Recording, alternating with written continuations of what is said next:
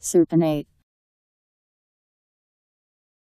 To twist the forearm so as to turn the palm of the hand backwards if the forearm is pointing up, upwards if the forearm is horizontal, or forwards if the arm is pointing down. To twist the forearm by contracting the biceps brachii. To twist the right forearm clockwise or the left forearm counterclockwise. To twist the foot so the weight is on the outer edge. S U P I N A T E